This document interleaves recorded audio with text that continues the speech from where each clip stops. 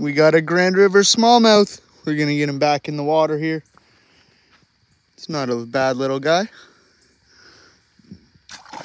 And there, oh, he was a little confused on where to go.